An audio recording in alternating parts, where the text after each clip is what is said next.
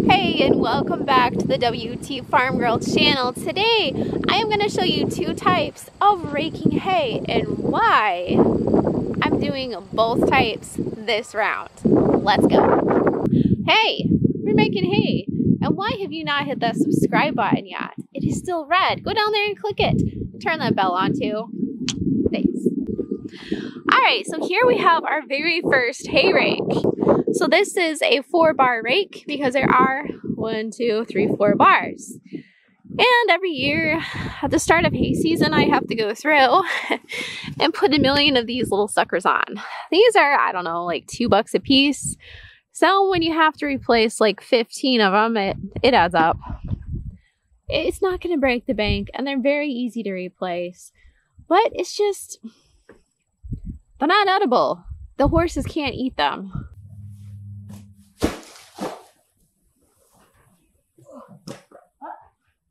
What? Really? I just fell out of the bale like that? How many more of these do I have in my bales? So why did I decide to go back to Old Faithful here over our beautiful New Holland 11 wheel ground rake. So this is a really exciting episode because you get to see both rakes in action today and why. I'm not using just one. Uh, so we came out here to check the hay. Today is Sunday morning and when did I cut? Thursday and Friday. I know the top was looking nice and dry, but the bottom um, still looking pretty wet. These are nice big windrows, which is nice for hay, but makes it a little bit trickier when you have to dry it. Now the small rake is just gonna take one single row and it's basically gonna pack it in together and it's gonna flip it. All right, so this is Aphrodite's first actual car ride. Usually she rides in the pet carrier. There's a good girl. So uh, she hates riding in the car. So we're just gonna get her acclimated. Yeah. And we're actually right behind the house. So if she seems a little stressed, then you can just take her back and you'll be okay. Yes.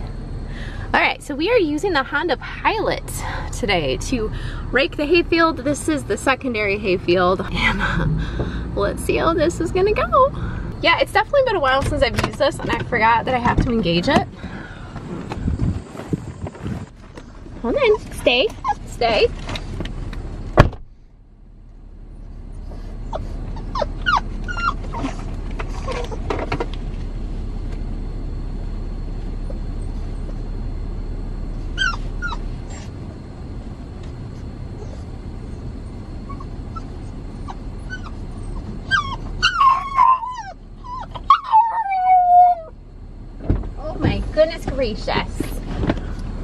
Drama queen.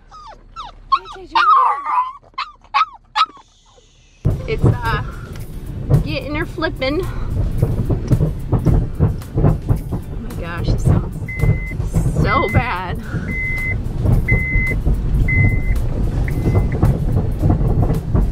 It's a good thing I got that mirror.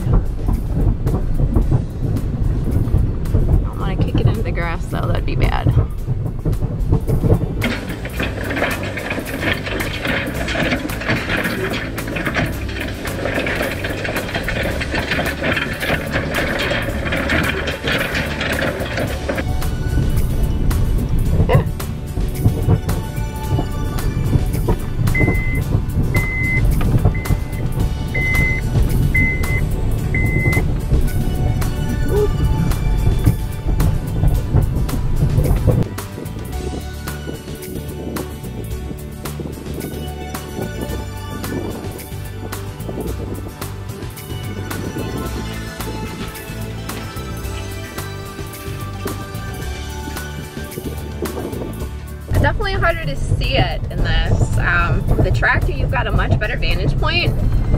And with this, uh, some of the dips, I tend to sit a little low. But um, so far it seems to be doing okay, I think. What do you think?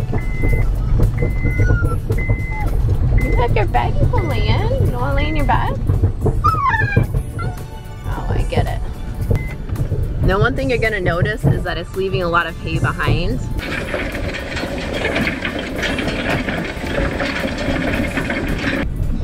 And that's okay. That's why we have the other hay rake. That's why we got rid of this one is because it did leave a lot of material still on the field. Uh, not so much for first cutting, but definitely for second and third was non-existent. So goal isn't to be majorly precise, it's just get it kind of gathered up and kind of fluffed and let it kind of dry a bit.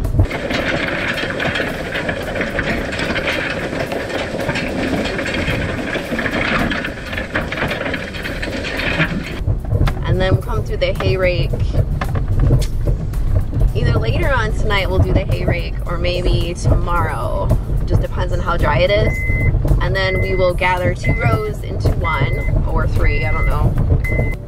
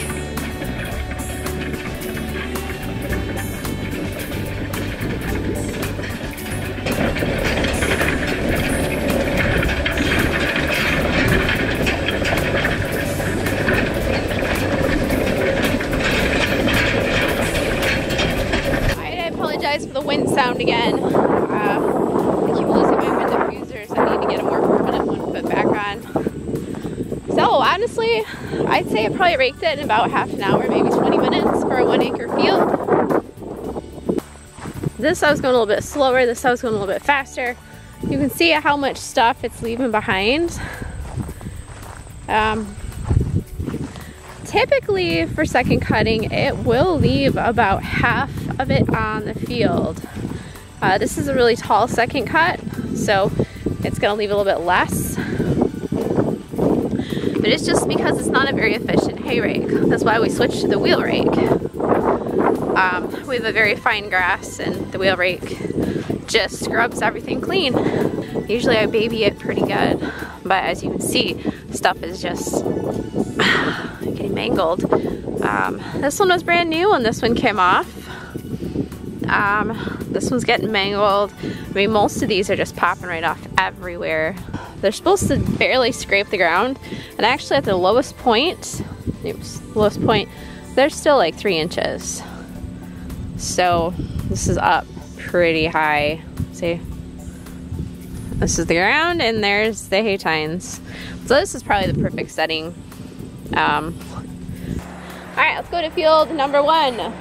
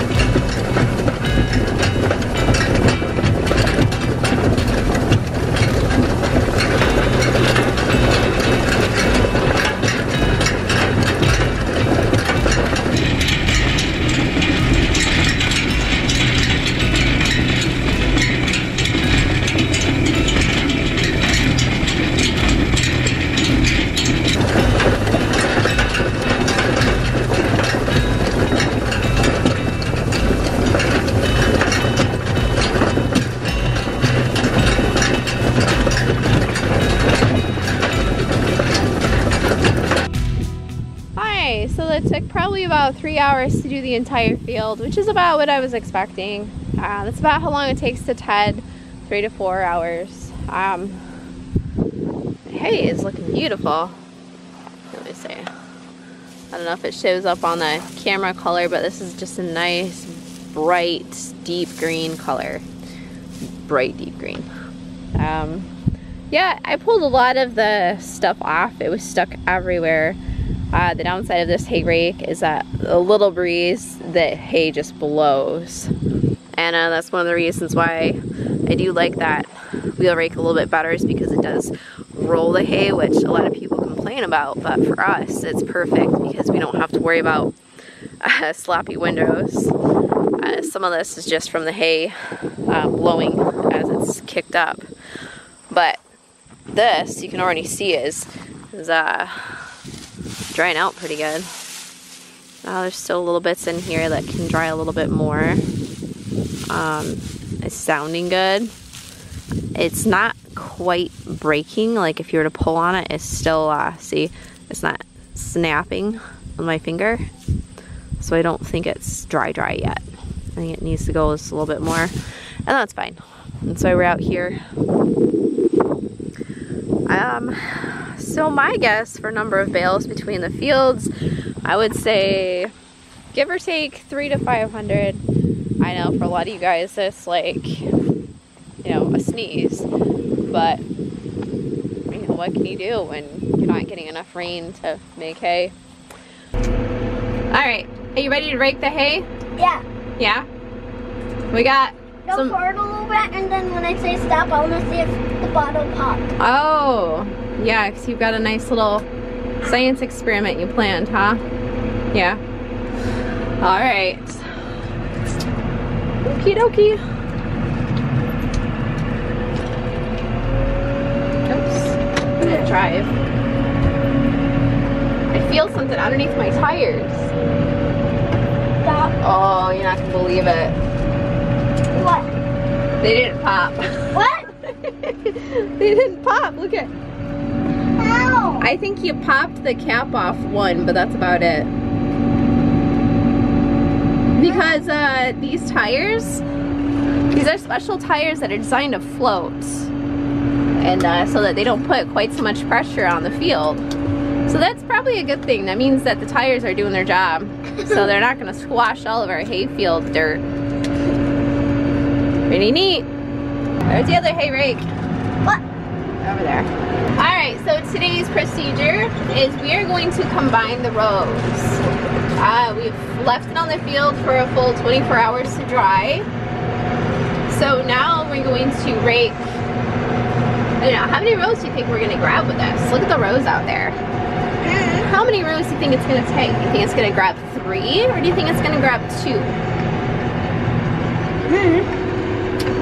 I'm thinking it's gonna grab three. I think eight. You think it's gonna grab eight? Wow. If we grab eight, that'd mean we'd have like two full rows on this whole field. That'd be crazy. Down we go! I don't have a Kit Kat. Ow. I can smell a Kit Kat.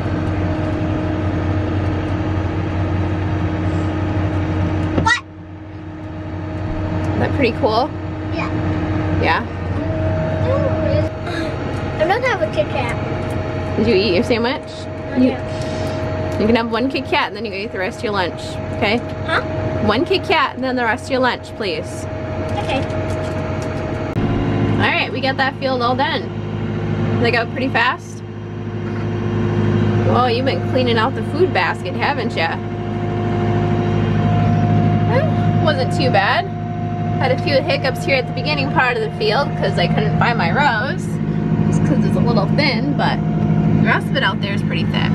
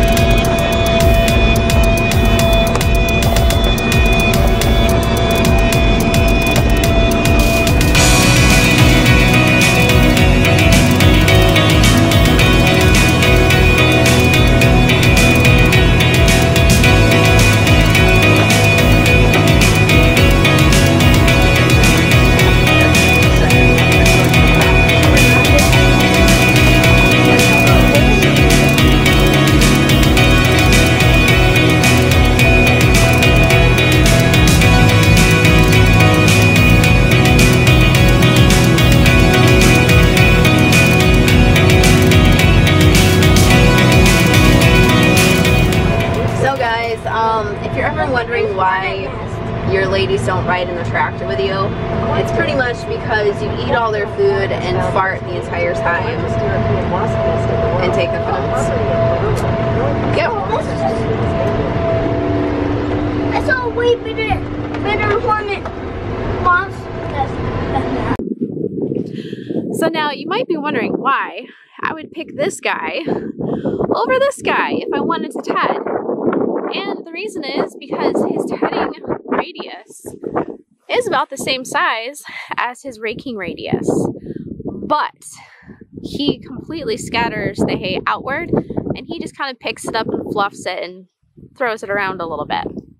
This guy makes it really hard to come back through and collect everything again. Plus, I end up running over what I already tedded. Ted did it tedded tedded tedded. The other advantage of this one is that I can pull it with virtually anything. This one is not ground driven. This one is actually PTO driven, so I still needed the use of the big heavy tractor in order to pull it. And since we only have one tractor, sometimes it's nice to make effective use of other tractorable items. Thanks for watching, guys. I really appreciate it. Coming up next, we have the exciting world of baling and failing, failing and baling. So much fun. So much chaos, new machines. You guys are not going to want to miss this. Coming up next. And a special cameo appearance from one of your favorite YouTube farmers. Who is it? You'll find out. Take care, guys. Love you. Bye.